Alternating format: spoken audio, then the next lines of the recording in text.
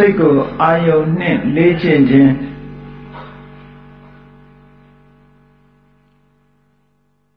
စိတ်ဖြစ်စဉ်ကိုလေးလာသုံးသပ်တဲ့အခါမှာ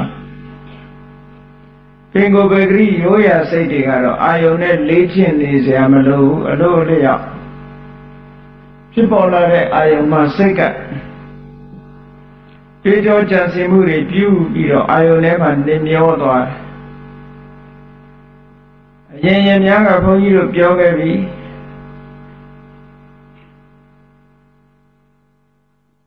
အစဉ်အာယုန်လေးတစ်ခုမျက်စိမှာလာပြီးတော့မျက်စိတကားကဝင်လာတဲ့အခါမှာထိုအာယုန်နဲ့အလုံးလုံးတဲ့စိတ်ပေါင်းခုနှစ်မျိုးဣဇဒရဝေဇံသကုဝိညာဉ်တမ္ပရိဆိုင်တဏိရဏဝုထောဇောတရာယုံလို့ သကုဒရမှာခုနှစ်မျိုး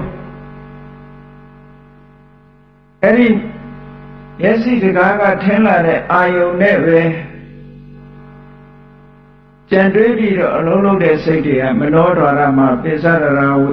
မနောဒရဝေဆံသောတရာယုံဆိုပြီးတော့ဝိသိစိတ်၃မျိုး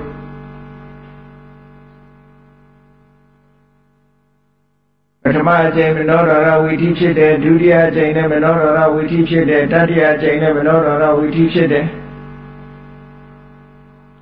ဖြစ်ချိန်အားဖြင့်ပြောမယ်ဆိုရင်ပထမအကျင့်ကဝိသိစိတ်က14ချိန်ဖြစ်တယ်ဝိသိဘုစိတ်က3ချိန်ဖြစ်တော့အလုံး18ချိန်18ချိန်ပြည့်တာနဲ့တကြိမ်နဲ့မျက်စိမှာထင်းလာတဲ့ရူပယုံလေးရဲ့တက်တန်းဟာကုံဆုံးသွားပြီ စိတ်ထဲမှာမှတ်သားထားလိုက်တဲ့အာယုံလေးပေါ်မှာတခါဆက်ပြီးတော့တွေးတောတဲ့အလုပ်ကိုဆက်လုပ်ကြမနောဒွါရမှာအတိဒဘဝင်ကသရဏဘဝင်ဥပိစေရဆိုတဲ့ဘဝင်နှစ်ကြိမ်လွန်ပြီးတဲ့အခါမှာမနောရရဝေသဇောခုနှစ်ကြိမ်တရားယုံနှစ်ကြိမ်ဆိုပြီးတော့ဆယ်ကြိမ်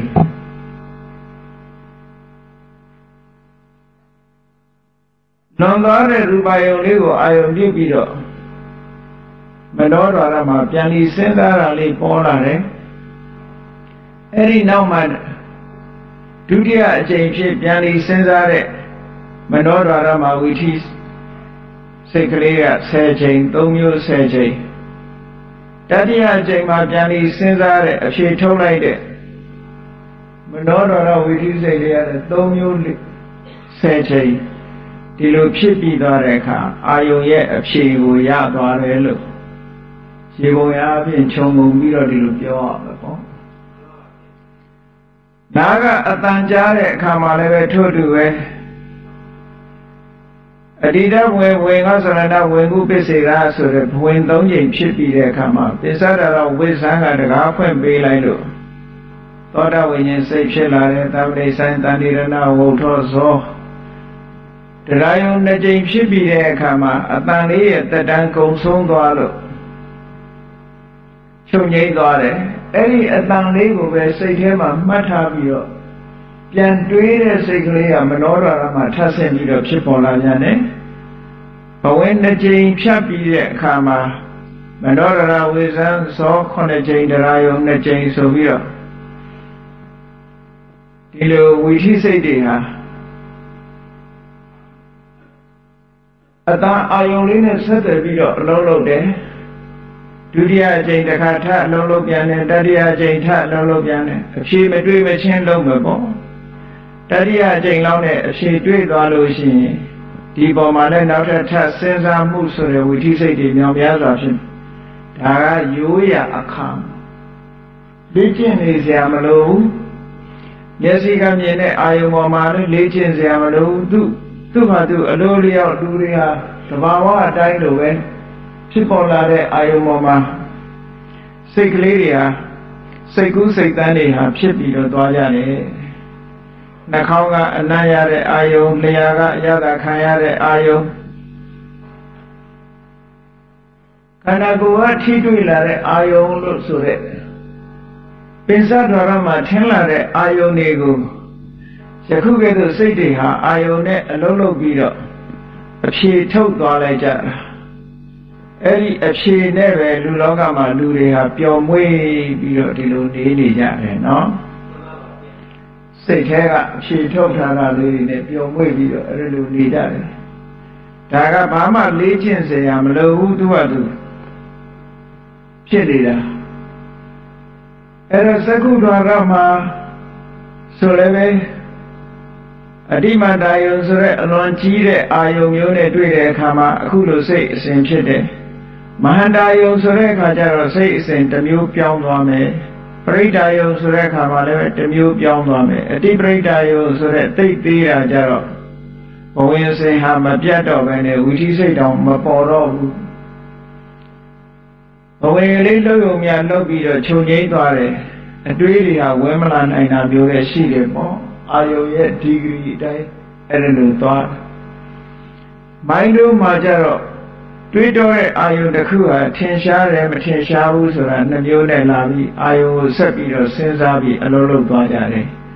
လူဘဝဆိုတာဒါပါပဲနေ့စဉ်ဒီတိုင်းသွားနေတာအမြင်အာယုံပေါ်မှာအလုံးလုံးတယ်အကြအာယုံပေါ်မှာအလုံးလုံးတယ်အနတ်အာယုံအရသာအာယုံထိတွေ့အာယုံအမြင်ကြအနတ် အရသာထိတွေ့မရှိဘူးလောလောဆယ်ထိနာမရှိဘူးဆိုလို့ရှိရင်လေမျက်စိလည်းမိတ်ထားတယ်နားလည်းပိတ်ထားတယ်နှာခေါင်းကလည်းလုံးလုံးဘူးရှားလည်းလုံးလုံးဘူးခန္ဓာကိုယ်လည်းလုံးလုံးဘူးဆိုရင်တက်တက်လေးခေါင်းလေးခြုံပြီးတော့တွေးတောနေတဲ့စိတ်တွေကလည်းဖြစ်သေးတာပဲနော်မနောဒွါရမှာတက်တက်မှလည်းပဲစိတ်တွေကစိတ်ကူးစိတ်တန်းတွေဖြစ်နေတယ်အဲဒီစိတ်ကူးစိတ်တန်းတွေကြတော့ မြင်ခဲ့ပြီးတဲ့အာယုံကိုအာယုံပြုဖြစ်တာရှိတယ်လို့မမြင်သေးတဲ့အာယုံကိုလည်းတွေးတောဆင်ခြင်ပြီးတော့ဖြစ်နေတာမျိုးတွေရှိတယ်။ရှိတာကိုလည်းတွေးတောတယ်မရှိတာလည်းတွေးတောတယ်။မဟုတ်တာလည်းတွေးတယ်ဟုတ်တာလည်းတွေးတယ်ဆိုရဲအတွေးအာယုံတွေထဲမှာတွေးကြုံခံစားမှုသမျှအာယုံတွေကိုအခြေပြုပြီးတော့လူရဲ့စိတ်ဟာအာယုံတစ်ခုခုနဲ့အလုံးလုံးနေတယ်လို့ဒါပဂတိရိုးရအချိန်မှာဒီတိုင်းပဲသွားနေမှာပဲ စိတ်ကိုအာယုန်နဲ့လေးကျင့်ပေးတယ်ဆိုတာကြတော့သမထကျင့်စဉ်တစ်ခုဝိပဿနာကျင့်စဉ်တစ်ခုနဲ့စိတ်ကိုအာယုန်နဲ့လေးလာလေးကျင့်ပေးတာအဲ့ဒါကြတော့ပုံစံပြောင်းသွားတယ်ပင်ကိုစိတ်တဲ့ဒီအာယုန်နဲ့လေးကျင့်ပြီးတော့ယူလိုက်ရတဲ့ယူလိုက်လို့တိုးတက်ဖြစ်ပေါ်လာတဲ့စိတ်ကပင်ကိုနေစဉ်ဘဝမှာထိတွေ့တဲ့စိတ်မဖြစ်ဘူး အင်ကိုလေးစဉ်ဘဝမှာထိတွေ့တဲ့စိတ်မျိုးမဟုတ်တော့ဆိုပါတော့ဒီ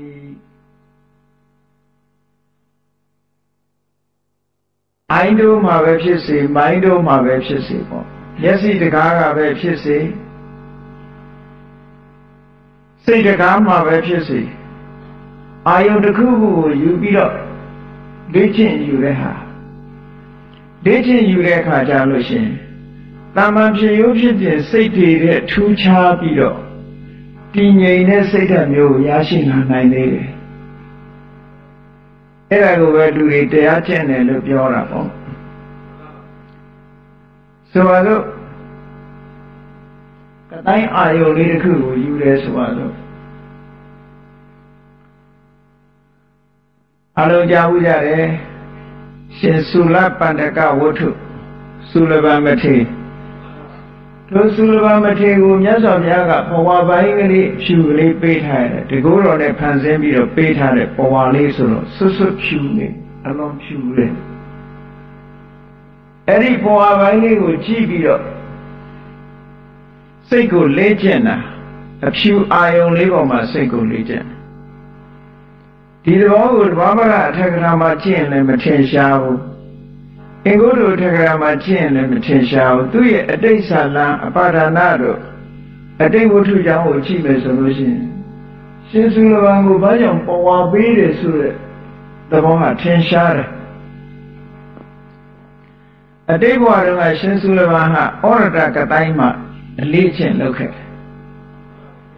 အဲ့ဒါအကြောင်းရင်းပဲဩရတကတိုင်းပေါ်မှာအလေးချင်းလုပ်တာပဲအဲ့ဒီအလေးချင်းနဲ့ဆက်နွယ်ပြီးတော့မြတ်စွာဘုရားကပဝါပိုင်းလေးပေးခဲ့တာအကြောင်းပဲပေးတာမဟုတ်ဘူးရမ်းပေးတာလည်းမဟုတ်ဘူးเนาะက ကမ္မထာတစ်ခုကိုပေးထားတယ်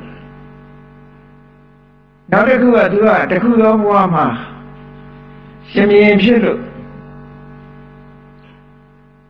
တန်ကြီးကိုလိလိစစ်ဆေးကြည့်ရှုတဲ့အခါမှာ မျက်နာကချွေးတွေပါတွေထွက်တော့ဖြူစွနေတဲ့ပွာလေးနဲ့မျက်နှာကိုတုပ်လိုက်ပြီးတော့အဲ့ဒီပွာလေးကဖြူစွနေတဲ့ပွာလေးကမျက်နှာတုပ်လိုက်တဲ့အခါမှာမဲညစ်သွားတာကိုတွေ့တဲ့အခါစိတ်ထဲမှာတန်ဝေကသဘောလေးပါပြီးတယ်။အော်ဒီခန္ဓာကိုယ်ကြီးအကြောင်းပြုပြီးတော့အမတန်ဖြူစင်တဲ့ပွာလေးညင်နွမ်းသွားရပါလားလို့ဆိုတဲ့တန်ဝေကစိတ်လေးအဲ့ဒီတန်ဝေကစိတ်လေးကအဲ့ဒီချိန်ကဖြစ်ခဲ့တဲ့တန်ဝေကစိတ်လေးကိုမြတ်စွာဘုရားက ရှင်စုလဗန်ဘဝရောက်တဲ့အခါကျတော့ဝိပဿနာဉာဏ်နဲ့ဆက်ဆက်ပေးခဲ့တယ်လို့ဒါကြောင့်မို့လို့အရေးကြီးတဲ့မှန်ကန်တဲ့အတွေးလေးတွေဟာတာမန်ကြည့်မယ်ဆိုလို့ရှိရင်တန်ဖိုးမရှိဘူးလို့ထင်ရတော့ထင်ကြရပေမဲ့လို့တကယ်တန်ဖိုးရှိတာနော်တရားလူတရားများရဖို့ဘလောက်အထောက်အကူဖြစ်သွားတယ်လဲဆိုတာဒီဝတ္ထုကသက်သေပြနေတယ် တဖူးချွေးသုံးလို့ဘဝလေးမဲသွားတာကြည့်ပြီးတော့ခန္ဓာကိုယ်ရဲ့အပြစ်ကိုမြင်လိုက်တဲ့အမြင်လေးဟာဝိပဿနာဉာဏ်ဘက်ကိုရှင်စုလဘဘဝကြတော့ဥတည်သွားနိုင်တယ်ဒီအတွေးလေးဟာနောက်တစ်ခုဆက်ဆက်လို့ပြောအောင်မယ်အားလုံးကြားဝရလိမ့်မယ်ပင်ဆက်ကပုံနာဇနီးမောင်နှံဆိုတာနော်ဘယ်ခါဖြစ်ဖြစ်သူတို့ကအ လူတန်းလုပ်တဲ့အခါမှာဥဥဖြားဖြားလုပ်လို့ပင်ဆက်ကပုံနာလို့ခေါ်နာမည်ပေးထားတယ်ပုံနာဇနီးမောင်နှံမြတ်စွာဘုရားနဲ့တွေ့တဲ့အခါတရားဟောတော့မြတ်စွာဘုရားကသူတို့အတွက်စကားလုံးရွေးချယ်လိုက်တဲ့အခါမှာအတိတ်ဘဝတုန်းကနာမရူပဆိုတဲ့စကားလုံးကိုသူတို့အချိန်ချင်းကြားခဲ့လို့အဲ့ဒီစကားလုံးနဲ့ယဉ်ပါနေတယ်ယဉ်နှီးနေဖင်ပီယာဖြစ်နေတယ် ဘိက္ခုဆိုတာဘယ်လိုမှဘိက္ခုလို့ခေါ်တယ်လေလို့ဆိုတဲ့မိကုံးကိုဖြေတဲ့အခါမှာမြတ်စွာဘုရားက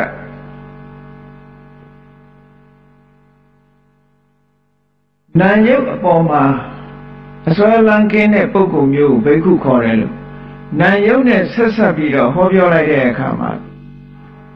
မဖို့ရသွားကြတယ်။ဟောဒါလည်းပဲအတိတ်အကြောင်းကိုအကြောင်းပြုတယ်အတိတ်ကိုခြေပြုတယ်လို့ပြောရတယ်။ ဒါကြောင့်မို့လို့ဓမ္မအတိညာဏ်ဆိုတာတာမန်အားဖြင့်ပြောမယ်ဆိုလို့ရှိရင်သိပြီးတော့အစစ်မမြင်ဘူးလို့ထင်ရပေမဲ့လို့ရသော်ဘုရားနဲ့တွေ့တဲ့အခါကျတော့အမတန်မှအထောက်အကူဖြစ်တယ်လို့ဒီလိုမှတ်ရမှာပေါ့နော်။ညာကြီးထောက်ကူဖြစ်တယ်။ ရှင်ရတ္တတို့ဝတ္ထုကိုကြည့်လိုက်အောင်မလား။ယတတရေသားတို့အတိတ်ဘဝတုန်းကသူကနာရေးကိစ္စမှာမိသကြိုတဲ့လုပ်ငန်းကိုကုသိုလ်ဖြစ်လုပ်ခွင့်ခဲ့ကြတဲ့တငယ်ချင်းတစုပဲသူကအတိတ်ဘဝတုန်းကအေးကိုယ်ွယ်ရမဲ့တဲ့လူတွေပိုက်ဆံမတတ်နိုင်တဲ့လူတွေ အဲ့ဒီပုဂ္ဂိုလ်တွေရဲ့နာရေးကိစ္စပေါ်လာတဲ့အခါကျလို့ရှိရင်သူတို့ကအခမဲ့ကူညီပြီးတော့မိသကြိုပေးခဲ့ကြတယ်မိသကြိုပေးရင်လူတွေကောင်ကိုမိတချို့ပေးရင်ကနေပြီးတော့အတုပကမ္မထာစိတ်ထဲမှာထင်မြင်လာခဲ့ကြတယ်နော်ခန္ဓာကိုယ်ကြီးရဲ့မတည်မြဲပုံရွံစရာကောင်းပုံဆက်ဆုပ်စရာကောင်းပုံမတင့်တယ်ပုံဆိုတာတွေကိုလက်တွေ့အားဖြင့်သူတို့သိမြင်ခဲ့ကြတယ်စိတ်ထဲမှာဖြစ်ပေါ်ခဲ့ကြတယ် အဲ့ဒီစိတ်အစဉ်လေးကသူရဲ့သူတို့ရဲ့ဘဝတစ်ခုမှာဘဝမှာ energy အနေနဲ့စုပြီးဆောင်းပြီးသားဖြစ်လို့ယတတထေသာဘဝရောက်တဲ့အခါကျတော့ကြည့်ဒီစိတ်လေးပြန်ပေါ်လာပုံကိုကြည့်လိုက်ယတတထေသာဆိုတာအလွန်ချမ်းသာတဲ့မိဘတွေကဂရုစိုက်တယ် ညာလုံးမောအမျိုးသမီးတွေကြီးတီးမှုတ်တဲ့ဒုရိယာတွေနဲ့အဆိုးတွေအကတွေနဲ့သူ့ရဲ့စံအိမ်မှာပဲသူကပျော်ပျော်ကြီးနေရနေပြီးတော့အိပ်ပျော်သွားတဲ့အခါကျတော့တီးကြမဟုတ်ကြတဲ့ဖြေဖြော်တဲ့အမျိုးသမီးတွေကလည်းအကုန်လုံးအိပ်ပျော်ကုန်ကြညကြတော့သူကနိုးလာတဲ့အခါကျတော့အိတ်နေကြတာတွေကိုကြည့်တချို့ကလည်းဟုတ်လားဟောက်ပြီးတော့အိတ်နေတာလည်းပါမှာပေါ့လေလူဆိုတာအမျိုးစုံပဲပေါ့ ဇာကြီးဖြဲပြီးအိတ်နေတာလည်းပါမှာပေါ့အဲ့ဒီအိတ်နေတဲ့အသွင်သဏ္ဍာန်တွေကိုမြင်လိုက်တဲ့အခါကျတော့ခုနကတော့ကသူသေးကောင်းတွေအတိတ်ဘဝဘဝတစ်ခုလုံးကလူသေးကောင်းကိုမီးသိမ်းချူခဲ့တဲ့အနေအထားတွေနဲ့ပြန်ဆက်ဆက်မိသွားဆက်ဆက်မိသွားတဲ့အခါကျတော့တန်ဝေကရဲ့အရှင်အဝါဟာတိတ်ကြီးသွားကြီးသွားသည့်အတွက်ကြောင့်အိမ်မှာရက်တည်လို့စိတ်မရှိပဲနဲ့ အိမ်ကနေထွက်ခွာသွားတယ်ဖះနဲ့သွားတွေ့လောကကြီးကဆိုးလိုက်တာဆိုးလိုက်တာဥပတုတံဝတ္တလောကောဥပဒထံဝတ္တဘောကောသူဟာအနှိမ့်ဆက်ခံရပြီဒီဒုက္ခကြီးကဘယ်လိုလွတ်ပါမလဲလို့ညီးတွားပြီးတော့ထွက်ခွာသွားဖះနဲ့တွေ့ရတရားဓမ္မနာရလို့ရဟန္တာဖြစ်သွားတယ်မဟုတ်လားဒီအဲ့ဒီကုသိုလ်တွေကလည်းနည်းတဲ့ကုသိုလ်တွေမဟုတ်ဘူးဘဝမှာဆက်ဆက်ပေးတဲ့သဘောတွေကိုပြောပြတာနော် အခုလည်းကောင်းပြီရှင်စုလဘံကိုပေါ်ဝပိုင်းလေးပေးတယ်ဆိုတာအတိတ်နဲ့ဆက်ပြီးတော့ပေးတာလူတိုင်းကိုပေးတာမဟုတ်ဘူးရှင်စုလဘံကိုပေါ်ဝဖြူဖြူလေးပေးလိုက်တာဟာအတိတ်ဘဝတုန်းကပေါ်ဝလေးပေါ်မှာဒီလိုအဖြူဩရတာကတိုင်းကိုလေးချင်းခဲ့ဘူးတဲ့တဲ့လေးချင်းပြီးတော့ဇာမေညင်နေရခဲ့တဲ့ဘဝတစ်ခုရှိခဲ့တယ်အဲ့ဒီဘဝကအရှိန်အဝါတွေကိုမြတ်စွာဘုရားကစုစည်းပေးလိုက်တာနော် စုစည်းပေးလိုက်တော့ဒီဖြစ်စွနေတဲ့ဘဝလေးပေါ်မှာကြည့်ဒီဘဝဆိုတဲ့အဖြူရောင်လေးပေါ်မှာအာယုံကိုစိတ်ကိုလေ့ကျင့်ပေးတာအဖြူအာယုံလေးပေါ်မှာစိတ်ကိုလေ့ကျင့်ပေးတာဘဝယူလေးကိုရှေ့ကချချပြီးတဲ့အခါသူဘဝယူလေးကိုအဖြူရောင်လေးကိုစိုက်ပြီးတော့ကြည့်တယ်စာလို့ပြောရင်ဩရဒကတိုင်းရှုတယ်ပေါ့ အဖြူအဖြူလို့စိတ်ထဲကမှတ်ပြီးတော့နေတယ်အဲ့ဒါလိုမျက်စိကနေဖွင့်ပြီးတော့အဖြူအာယုံလေးကိုမျက်စိနဲ့မှတ်နေတာဟာဒါပရိကမ္မနိမိတ်လို့ခေါ်တယ်အာယုံနမိတ်တစ်ခုကိုယူနေတာတဲ့ဟောစိတ်ကိုဘာနဲ့လေးကျင့်နေတာတော့အာယုံနဲ့လေးကျင့်နေတာတဲ့အဲ့ဒါလည်းပဲစိတ်ဖြစ်စဉ်တစ်ခုတည်းမှာပါဒါတာမန်နဲ့မရဘူးရိုးရမဟုတ်ဘူးဒါကြတော့ အာယုံကိုစိတ်နဲ့လေးကျင့်တာကြည့်အဖြူဖြူနဲ့လေးကျင့်နေတဲ့အခါဒီသူလေးကျင့်နေတဲ့အာယုံလေးဟာပရိကမ္မနမိတ်တဲ့ပြင်ဆင်ပြီးတော့ထားတဲ့အာယုံကလေးတစ်ခုပေါ်မှာစိတ်ကိုပြင်ဆင်လေးလာနေတာလေးကျင့်နေတာအဲဒီလိုလေးကျင့်လိုက်တဲ့အခါကျတော့မကြခင်ပဲအဖြူအာယုံလေးမှာစိတ်အဖြူအာယုံလေးဟာစိတ်ထဲမှာဆွဲထင်သွားပြီ စိတ်ထဲမှာဆွဲထင်သွားတယ်ကင်မရာနဲ့ရိုက်ပြီးတော့ယူလိုက်တယ်လို့ပဲပုံလေးဆွဲထင်သွားတယ်အဲ့ဒီဆွဲထင်သွားတဲ့စိတ်ထဲမှာဆွဲထင်သွားတဲ့အာယုံလေးကိုကျတော့ဥက္ခဟနမိတ်လို့ခေါ်တယ်ဥက္ခဟနမိတ်လို့ခေါ်တယ်မျက်စိကကြည့်စရာမလိုခုနကမျက်စိကကြည့်နေတဲ့အချိန်ကျတော့ဝိသိစိတ်နဲ့ပြောမယ်ဆိုလို့ရှိရင်ဘာလို့သက္ခုဒွါရဝိသိစိတ်ကြီးဖြစ်နေတယ်ဟုတ်ကဲ့ သက္ခုဒွါရဝိသိစိတ်တွေဖြစ်တယ်အဲ့ဒီဇောစိတ်တွေကအဖြူအာယုံပေါ်မှာအာယုံပြုတ်ပြီးတော့နေတယ်အေးဇောစိတ်တွေအချိန်ချင်းဖြစ်လိုက်လို့စိတ်ထဲမှာဆွဲထင်သွားပြီဖလင်ထဲမှာရုပ်ပုံလေးတော့ဘုခုဒီချစ်တဲ့ချစ်ပြားထဲမှာရုပ်ပုံလေးထင်သွားတယ်လို့ထင်သွားပြီဆိုတဲ့အခါကျတော့ဥက္ခာနမိတ်ဆိုတော့ပေါ်သွားပြီ ပရိကမ္မနမိတ်ပေါ်မှာလုံနေတဲ့တမာတိကပရိကမ္မတမာတိလို့ခေါ်တယ်မျက်စိနဲ့ကြည့်ပြီးတော့မှတ်မှတ်နေတာစိတ်နဲ့မှတ်နေတာစိတ်ကိုဖြူအာယုံပေါ်မှာအလုံးလုံးနေတယ်လေ့ကျင့်ပေးနေတယ်လေ့ကျင့်ပေးနေလို့စိတ်ကစွဲပြီးဆိုလိုက်တာနဲ့တပြိုင်နက်ဥက္ကဟနမိတ်စိတ်နဲ့မှတ်ထားလိုက်နိုင်ပြီအဲ့ဒီအာယုံကိုစိတ်စွဲနဲ့မှတ်ထားလိုက်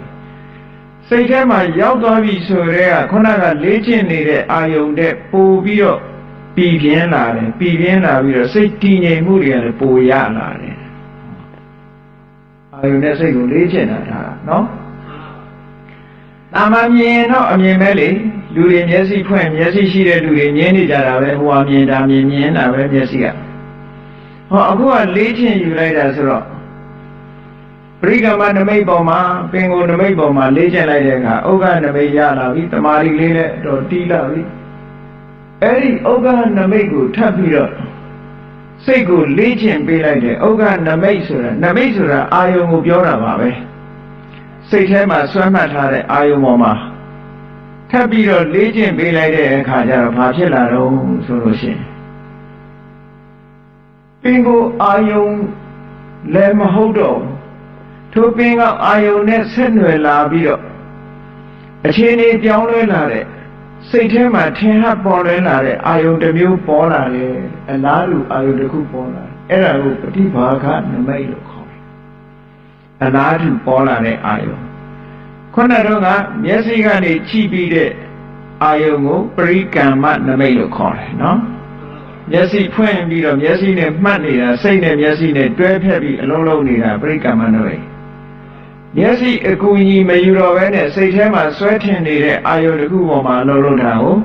ဥက္ကဟနမိတ်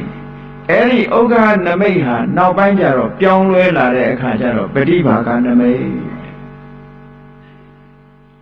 ပဋိဘာကနမိတ်ဖြစ်လာပြီဆိုလို့ရှိရင်အဲ့ဒီပဋိဘာကနမိတ်ဒီပင်ကိုယ်တဲ့ပို့ပြီးတော့တောက်ပြောင်လာတယ်ထင်ရှားလာတယ်ပို့ပြီးတော့ကရိယာဖြစ်လာတယ်အဲ့ဒီပဋိဘာကနမိတ်ရောက်တဲ့အခါကျတော့ ဇာနာနိကလာတဲ့တမာတိစွမ်းအားတွေရလာပြီလို့ဆိုဟောအာယုန်နဲ့စိတ်ကိုလေ့ကျင့်တာနော်ဇာနာကတ်လာတဲ့တမာတိစွမ်းအားတွေရလာပြီအဲ့ဒီတမာတိစွမ်းအားတွေကိုထပ်တိုးမြင့်ပြီးတော့ထင်းလာတဲ့ပရိပါကအာယုံပေါ်မှာထပ်ဆင့်ပြီးတော့စင်ဆက်မပြတ်လေ့ကျင့်လိုက်တဲ့အခါကျတော့ဘာရသွားလို့ဆိုအဲ့ဒီပရိပါကနေမိတ်ပေါ်မှာပထမဇန်ဆိုတဲ့ပထမအဆင့်ရောက် ဒါဖြင့်ပထမဇန်ဆိုတဲ့ပထမအဆင့်ရောက်သွားလို့ရှိရင်အခြေအနေကဘယ်လိုရှိတုံးလို့ဆိုရင်အဲ့ဒီပရိပါကနမိတ်ဆိုတဲ့ထူးဆန်းတဲ့စိတ်ထဲမှာပေါ်လာတဲ့ပရိပါကနမိတ်အာယုံလေးပေါ်မှာပို့ပြီးတော့ကြည်လင်ပြတ်သားတဲ့တမာရီစွမ်းအားတွေစိတ်စွမ်းအားတွေပေါ်လာတယ်အဲ့ဒီအာယုန်လေးပေါ်မှာတွေးနေတဲ့အတွေးစိတ်ရှိတယ်ဝိတက်လို့ခေါ်မယ် အဲ့ဒီအာယုန်လေးပေါ်မှာအမြဲတမ်းရေဝဲနေတဲ့ဝိสารဆိုတာရှိမယ်အဲ့ဒီအာယုန်လေးပေါ်မှာခြေနှက်နေတဲ့ပီတိဆိုတာရှိမယ်ကိုယ်ရစိတ်ပါနှစ်ခုစလုံးအေးချမ်းနေတယ်ဆိုရက်ဒုက္ခဆိုတာရှိမယ်အေးတည်ငြိမ်နေတဲ့စိတ်ကလေးဟာအဲ့ဒီအာယုံပေါ်ကငြိမ်သွားပြီးတော့ဘေးကိုရွှေ့မရဘဲနဲ့ဒီအာယုံတစ်ခုထဲမှာပဲစိတ်ကစိုက်ပြီးတော့အာယုံနဲ့စိတ်နဲ့ဟာ တွေ့ကတ်ထားတယ်လို့နော်စူပါဂလူးနဲ့ကတ်ထားလိုက်တယ်လို့ကတ်သွားအာယုံနဲ့စိတ်နဲ့တွေ့ကတ်ပြီးတော့ရက်နေတယ်လို့ဖြစ်သွားတယ်ဧကကတာပေါင်းလိုက်တဲ့အခါကျတော့ဝိတက်ရဲ့ဝိสารရဲ့ပီတိရဲ့ဒုက္ခရဲ့ဧကဂတာဟောဒီ၅ပါး unity ဖြစ်သွားပြီ harmony ဖြစ်သွားပြီတကယ်ကိုဒီ၅ခုဟာ ဟန်ချက်ညီညီနဲ့စုပေါင်းပြီးဒီအာယုန်လေးနဲ့အလုံးလုံးနေပြီဆိုလို့ရှိရင်အဲ့ဒီလိုအလုံးလုံးနိုင်အောင်ဘာတွေကဘာတွေစိတ်ကိုလေးခြင်းတဲ့အခါဘယ်အရာတွေကင်းသွားတော့ဆိုတော့ဝိဝိစေဝကာမေဟိအာယုံမျက်စိကမြင်ရတဲ့အာယုံနားကကြားရတဲ့အာယုံနှာခေါင်းကနားရတဲ့အာယုံ လျှာကလဲရတဲ့အာယုံခန္ဓာကိုယ်ကထိတွေ့ရတဲ့အာယုံလို့ဆိုရင်ဒီအာယုံတွေပေါ်မှာခံစားခြင်းနဲ့စိတ်စဉ်ဟာလုံးဝပြတ်တော့ပါမရှိတော့ကာမလူချင်းစရာအာယုန်တွေပေါ်မှာလူချင်းနေတဲ့လောဘနဲ့ဖြစ်ပေါ်လာတာဒီမရှိတော့ဘူးလို့ဆိုလို့လေအဲ့ဒါဟာဒီခံစားခြင်းနဲ့စိတ်တွေ မျက်စိနဲ့ကြည့်ခြင်းနဲ့နားကကြားခြင်းနဲ့နှာခေါင်းကနမ်းရှူခြင်းနဲ့လျှာကလျက်ခြင်းနဲ့ခန္ဓာကိုယ်ကထိတွေ့ခြင်းနဲ့ဆိုတဲ့အဲ့ဒီလောဘနဲ့ရှင်တွဲပြီးတော့ဖြစ်ပေါ်နေတဲ့ပြင်းထန်တဲ့ဆန္ဒတွေကာမေဆန္ဒလို့ခေါ် desire for sense of pleasure စိတ်ရပျော်မွေ့စရာတွေပေါ်မှာလိုချင်နေတဲ့ဒီကာမိဆန္ဒဆိုတဲ့ကာမတရား လုံးဝချုပ်ငြိမ်းသွားဘယ်သူတွေကချုပ်ငြိမ်းအောင်လုပ်လိုက်တော့ဆိုရင်ခုနကအာယုံလေးပေါ်မှာတည်ငြိမ်တဲ့စိတ် ဝိတေဝိสารပိတိဒုက္ခဧကဂတဆိုတဲ့ဇံအင်္ဂါ၅ပါးပေါ်လာလိုက်တာနဲ့တပြိုင်နက်အဲ့ဒါဟာလောင်မြိုက်ပြစ်လိုက်တယ်လို့ပျက်စီးသွားပြီအဲ့ဒီစိတ်မလာတော့ဘူးလို့ဆိုအဲ့ဒီစိတ်တွေကနေလွတ်ထွက်သွားအဲ့ဒါနေမကဘူးဘာတွေလွတ်ထွက်သွားတော့ဆိုရင်ကြံတဲ့និဝရဏတွေဖြစ်တဲ့ ဖြာပါရာဆိုတာအာယုံပေါ်မှာအလိုမကျမှုဆိုတာလည်းမရှိတော့ဘူးမရှိတော့ဘူးဌိနမိတ်တာဆိုတဲ့စိတ်ကိုတွန့်ဆုတ်စေတဲ့ဟာတွေလည်းမရှိတော့ဘူးပုဒ္ဓိသကုတ်ကုသလို့ဆိုတဲ့စိတ်လေလွင့်နေတာတွေလည်းမရှိတော့ဘူးပူပန်မှုတွေလည်းမရှိတော့ဘူးဝိသိကိစ္စဆိုတဲ့တန်တရားလည်းမလာတော့ဘူးဆိုလိုတာက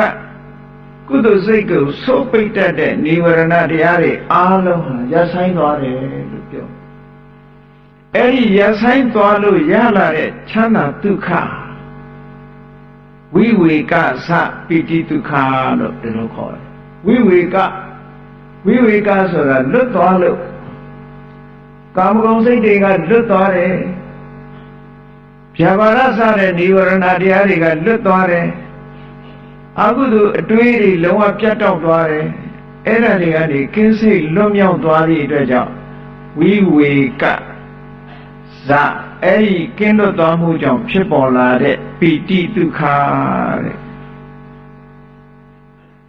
စိတ်ထဲကချမ်းစိတ်ထဲကနေပျော်ရွှင်ပြီးတော့ကိုချမ်းသာစိတ်ချမ်းသာခံစားနေရတယ်လို့တဲ့လို့ဆို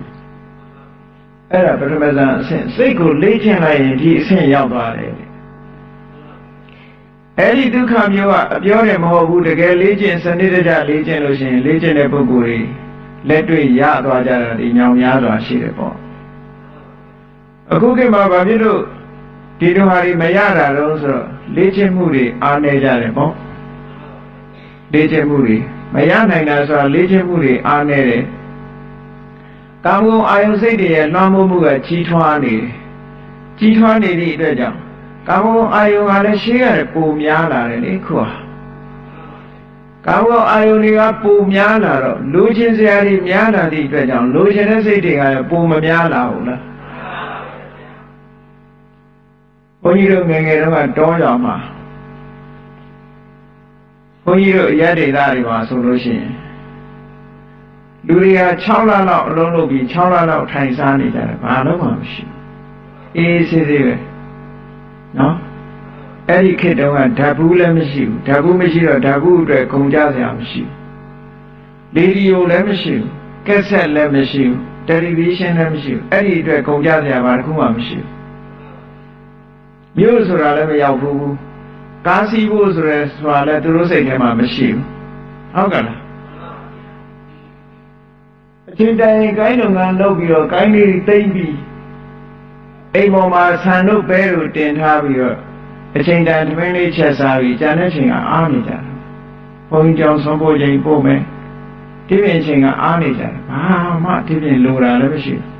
မြို့မသွားရတဲ့အတွက်ကြောင့်မြို့ပေါ်ကအထူးဆန်းပစ္စည်းတွေလည်းဘာမှလိုချင်စရာမရှိဘူးမြင်မမမြင်တာမြင်မမမြင်ဘူးဆိုတော့လိုချင်စရာလည်းမရှိဘူးကြားလည်းမကြားဘူးဆိုတော့လိုချင်စရာလည်းမရှိဘူးမြို့ဆိုတာဝေလာဝေးရွာနာနီချင်းဟိုနာဒီနာရွာနှစ်ရွာသုံးရွာဟိုဘက်ရောက်ဖူးတာမှမဟုတ်ပဲ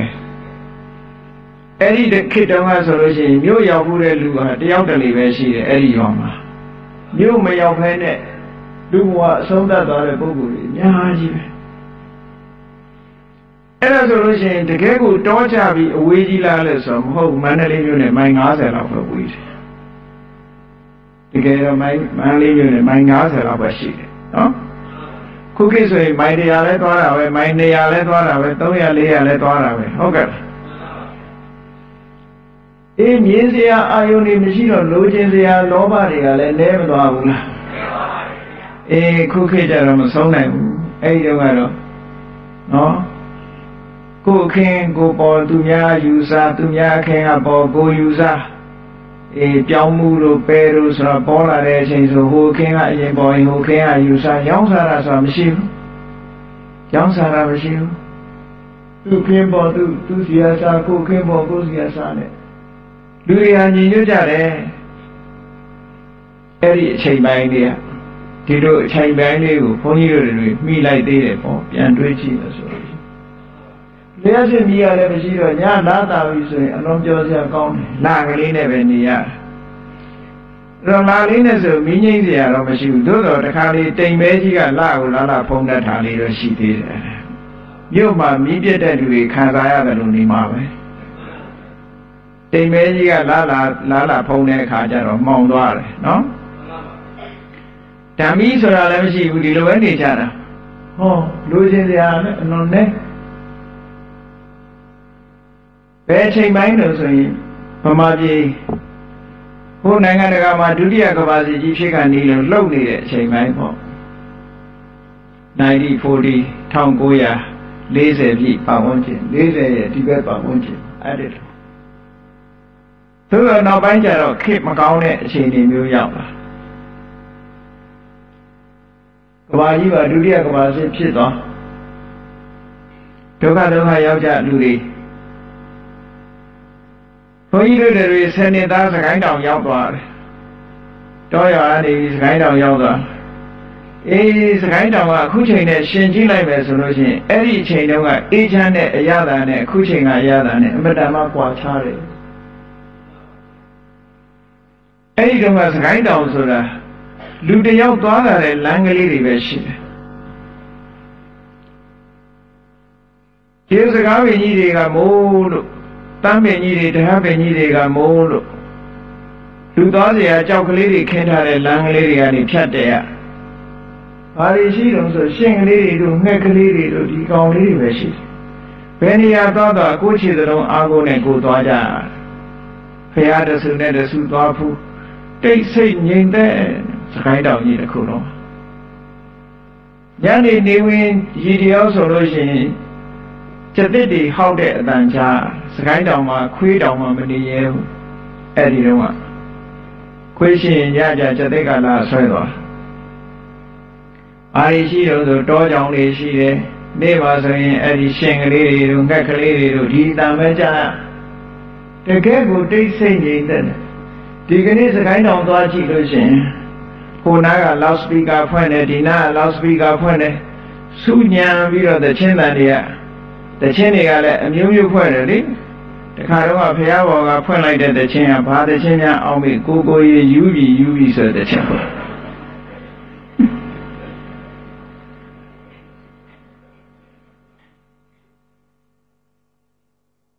အဲ့လိုဟာတွေ အခုခေတ်ကလွှမ်းမိုးသွားပြီဆိုတော့ဝိဝေကဇပိတိဒုက္ခကင်းစင်မှုရဲ့ချမ်းသာဆိုတာဘယ်သိတော့မှာတော့သိနိုင်ပါအောင်မလားအေးအဲ့ဒီချမ်းသာမျိုးကိုမသိတော့ဘူးလေ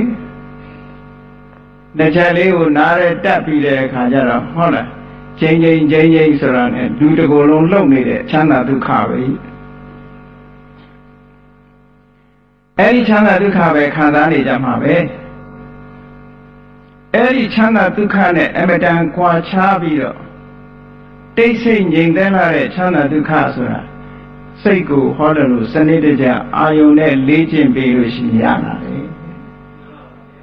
အဲ့ဒီမှာစိတ်ဖြစ်ပုံကဘယ်လိုစိတ်ဖြစ်တုံးဆိုလို့ရှိရင်ဇန်စိတ်ဖြစ်လာပုံလေးကို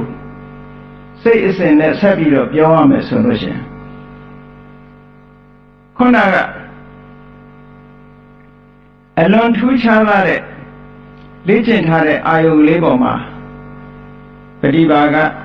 ဒီပရိကမ္မနမိတ်ပရိကမ္မနမိတ်ကတဆင့်ပြောင်းလာတဲ့ဥက္ခာနမိတ်ဥက္ခာနမိတ်တဆင့်ပြောင်းလာတဲ့အခါပရိပါကနမိတ်အဲ့ဒီပရိပါကနမိတ်ပေါ်မှာစိတ်ကလေးငြိမ်သွားလို့ရှိရင်ဇံရသွားတယ်ဇံရသွားတဲ့စိတ်အစဉ်ဟာဘယ်လိုဖြစ်လာသလဲလို့ဆိုရင်အဲ့ဒီအာယုံပေါ်မှာနောက်ဆုံးဖြစ်တဲ့စိတ်ဖြစ်စဉ်တွေကဘယ်လိုလာတော့ဆိုရင် အဲ့ဒီအာယုံပေါ်မှာမနောဒရဝိဇံဆိုတဲ့စိတ်လေးကတကားကိုဖွင့်ပေးလိုက်တယ်ဖွင့်ပေးလိုက်တာနဲ့တပြိုင်နက်တာမန်ဖြစ်နေကြကာမဇောတွေမဟုတ်ဘဲနဲ့ထိုကာမဇောတွေနဲ့အလွန်ဆန့်ကျင်တဲ့ဒီပฏิပါကနမိတ်ဆိုတဲ့အာယုံလေးပေါ်မှာဘာဖြစ်လာတော့ဆိုရင်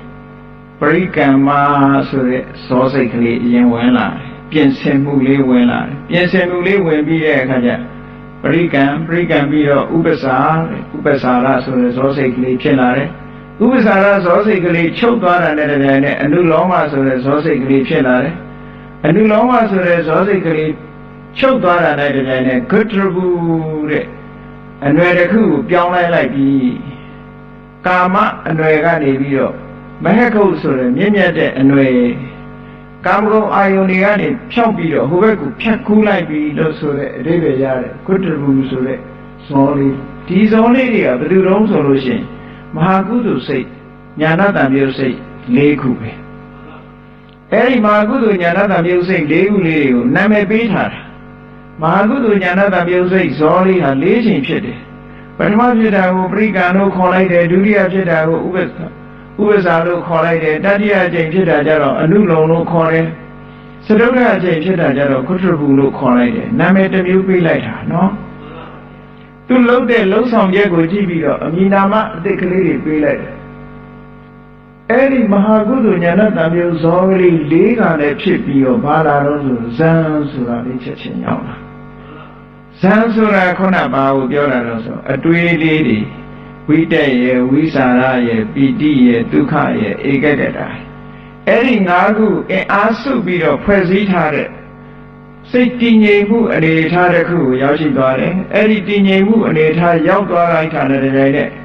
ကာမနဲ့ပတ်သက်တဲ့အတွေ့အကြုံလုံးဝငြိမ်းသွားတယ်မလာတော့ဘူးအနာနာကိုမပေါ်နိုင်တော့ဘူးဘယ်တော့မှမပေါ်တော့ဇာဝရနဲ့ပတ်သက်တဲ့အတွေ့အကြုံဒီဝရဏတွေနဲ့ဆိုင်တဲ့အတွေ့အကြုံအကုန်လုံးချုပ်ငြိမ်းသွားတယ် ပထမဆုံးအချိန်ရတဲ့အချိန်ကျတော့ဇန်ဆိုတာလေးကတစ်ချိန်လေးဖြစ်ပြီးတော့ဘဝင်ကျသွားတယ်ထိမ့်မထားနိုင်သေးဘူးလို့ဆိုလို့လေပေါ့ပထမဆုံးရောက်လိုက်တဲ့အချိန်ကထိမ့်မထားနိုင်ဘူးအဲ့ဒီကြည့်ဇန်ဆိုတာလဲဇောပဲပရိကံဥပ္ပဇာနုလုံကုတ္တရဘူးဆိုတာမဟာကုသိုလ်ဇောမဟာကုသိုလ်ဇောကကာမအနွယ်ကာမဝဆရစိတ်ဇန်ဆိုတာလေးကြတော့မဟကုတ်စိတ်အနွယ်ချင်းမတူဘူးလို့ပြောတာနော် အဲ့ဒီဇန်ဆိုတာကြတော့အတိမ့်မဲ့လို့ခေါ်တယ်ရရှိလာတဲ့အကျိုးလေးကာမဝဆရာစိတ်ဆိုတာကတော့ကိုမွေးရပါလို့ဒီလိုပြောအောင်မှာပေါ့မဟာကုသိုလ်စိတ်ဆိုတာမွေးရပါလို့ပြောလို့ရပါတယ်ဘာလို့ဆိုရိုးရအပြင်ဖြစ်တယ်ပေါ့ဒါနကောင်းမှုပြုရင်လည်းသူဖြစ်တယ်အတိညာပါလာလို့ရှင်သီလဆောက်တည်တဲ့အခါသူဖြစ်တယ်ကမ္မထဘာဝနာပွားတဲ့အခါသူဖြစ်တယ် သို့တော့အဆင့်မြင့်လာပြီးဇံဘက်ကိုဥတည်သွားပြီဆိုလို့ရှိရင်ပြိကံဥပ္ပဇာလို့လုံးကတရဘူးလို့လေးချိန်ဖြစ်ပြီးတာနဲ့တပြိုင်နက်အဆင့်မြင့်တဲ့ဇံဆိုတဲ့ဒီစိတ်ဓာတ်တစ်မျိုးဟာထပ်ပြီးတော့ပေါ်လာတယ်ပေါ်လာပြီးရင်ထိမ့်မထားနိုင်လို့ပျောက်သွားတယ်ပျောက်သွားသည့်အတွက်ကြောင့်နောက်ထပ်နောက်ထပ်ဟာဒီလမ်းကြောင်းတိုင်းထပ်ပြီးတော့ရှောက်ဒီလမ်းကြောင်းတိုင်းထပ်ပြီးတော့ရှောက်လိုက်တဲ့အခါကျတော့ ပြန်ပြီးတော့ဒီအဆင့်ကိုနောက်အချိန်မှာအောင်မြင်လာပြီဆိုလို့ရှိရင်ဇန်တွေဟာထိန်းနိုင်လာတယ်ပေါ့ဇန်ဇန်ဇန်ဇန်နေကြီးပဲဆက်ဖြစ်နေအောင်ထိန်းထားနိုင်ပြီနောက်ပိုင်းကျတော့အလေးချင်းရသွားပြီဆိုပရိကဥပ္ပဇာနုလုံကုတ္တရဘုံလို့ဆိုရက်ရူပကာမဝဆရမဟာကုသိုလ်ညာဏတမျိုးစိတ်ဇောလေးချိန်စောပြီးရတဲ့တိုင်နဲ့နောက်ကဇံဆိုတာတဏှာကြီးလို့အဋိဌာန်ထားရင်တဏှာကြီးတိတိဇံနေနဲ့ကျွယ်နေလို့ရတယ်ထိမ့်သွားလို့ရပ ထမအချိန်တော့ထိမ့်လို့မရဘူးတစ်ခါပဲဖြစ်ပြီးချုပ်သွားနောက်တစ်ခါကြလို့ရှိရင်ထပ်ပြီးတော့လေးကျင့်လေးကျင့်ယူပါများတဲ့အခါကျတော့ဟုတ်လားနိုင်ဝက်ထိမ့်သွားနိုင်တယ်တဏှာကြီးထိမ့်နိုင်တယ်တနေ့လုံးလုံးထားလို့ရတယ်ဟောလေးကျင့်ခံယူတာလေ physical exercise လုပ်တဲ့အခါမှာလုပ်လို့ရတယ်လို့ပဲ mental exercise ကလည်းလေ့ကျင့်ပြီးယူရတယ်လို့ဒီလိုပြောတာ အဲ့ဒီစိတ်ကလေးကိုတဏှာကြီးထိန်းလို့ရတယ်တဏိတာထိန်းလို့ရတယ်ဟောဇန်စိတ်ကလေးနဲ့နေနေတာအဲ့ဒါကြတော့ဇံဝင်စားတယ်လို့ပြောကြတယ်အဲ့ဒီဇံအဆင့်မမီတဲ့ပုံကိုယ်တွေကြတော့ခုနစာလေးတစ်ချောင်းရေးရင်ဇံဝင်စားတယ်လို့ပြောနေကြတာနော်အလုတ်ကလေးတစ်ခုကဇံဝင်စားတယ်လို့ပြောကြတယ်ပယ်ဇံနဲ့အဝေးကြီးနော်တွေးကြံတွေးနေပြီးတော့ဇံဝင်စားတယ်ပြောလို့ပဲရ ဟောအာယုန်တစ်ခုလေးပေါ်မှာတည်ငြိမ်ပြီးတော့နေတာဇာနာဆိုတဲ့အဓိပ္ပာယ်ကအနိကရှုမှတ်ပြီးတော့အာယုန်နဲ့စိတ်နဲ့ကပ်နေတဲ့သဘောကိုပြောတနည်းအားဖြင့်ဇာနာရဲ့အဓိပ္ပာယ်ကဆန့်ကျင်မဲ့និဝရဏတရားတွေကိုလောင်ကျွမ်းပြစ်လိုက်တယ်ဖြည့်ဆည်းပြစ်လိုက်တယ်ဆိုတဲ့အဓိပ္ပာယ်ရတယ်အဲ့ဒီဇာနာဆိုတာဘယ်သူခေါ်တာတော့ဆိုရင်ခုနကဆိုင်အင်္ဂါ၅ပါး unity of jhana factor အဲ့ဒီ၅ခုကိုပြောတာအဲ့ဒီ၅ခုနဲ့ထိန်းထားလိုက်တာ တဲ့ဒါစိတ်ကိုလေ့ကျင့်တဲ့စိတ်ဖြစ်စဉ်ဟာအဲ့ဒီပုံစံနဲ့သွားတယ်လို့ပြောတယ်နော်ပထမဆုံးရတဲ့အချိန်မှာဇန်တစ်ချိန်ပဲဖြစ်တယ်ဒုတိယတတိယအောင်မြင်သွားပြီဆိုတဲ့အခါဆက်လက်ထိန်းတဲ့အခါမှာအချိန်နဲ့မပြောတော့ဘူးတဏှာကြီးကြာဖြစ်မယ်တရက်ကြာဖြစ်မယ်ဟုတ်လားအချိန်ဆိုလို့ရှိရင်တော့ပြောလို့မရတော့ဘူးဘာလို့ဆိုလက်ဖြစ်တဲ့အတွင်းမှာချိန်ဂရေတသိန်းကံဖြစ်နိုင်တာဟုတ်ဇန်စိတ်တည်ကြည့်ပြီးဆက်လက်ဖြစ်နေတာကိုဒါဟာသူက ဇာဝေသားနေတယ်လို့ပြောတာအဲ့ဒီနေရာမှာလည်းလေ့ကျင့်ခန်းတွေအများကြီးလုပ်ရတယ်လေ့ကျင့်ခန်းတွေအများကြီးလုပ်ရတယ်အဲ့ဒီလေ့ကျင့်ခန်းတွေလုံးလို့စွမ်းရည်တတ္တိတွေပြည့်လာတာကိုဝတိဘောလို့ခေါ်တယ်နော်ဝတိဘောဆိုတာဝတိဘာဝဝတိဘာဝဝတဆိုတာစွမ်းရည်တတ္တိစွမ်းရည်တတ္တိရှိတာကိုဝတိဘာဝ ဗမာစကားကဝတိဘောဆိုတော့ဘာမှမသိဘူးဝတိဘောလို့ပြန်လိုက်တဲ့အခါကျတော့အတိတ်ပဲမပေါ်တော့ဘူးပေါ့စွမ်းရည်တတ္တိတွေရလာအောင်လေ့ကျင့်ယူတာအာရကသမားတွေလည်းလေ့ကျင့်တာပဲမဟုတ်လားမလေ့ကျင့်ပဲနဲ့စွမ်းရည်တွေရလာတာမဟုတ်ဘူးသူတို့မှအမြဲလေ့ကျင့်နေရအဲ့ဒါလိုပဲဇံဝင်စားတဲ့ပုဂ္ဂိုလ်ကလည်းလေ့ကျင့်လေ့ကျင့်တဲ့အခါမှာအဝိဇ္ဇနာခဏလေးဆင်ခြင်ယုံနဲ့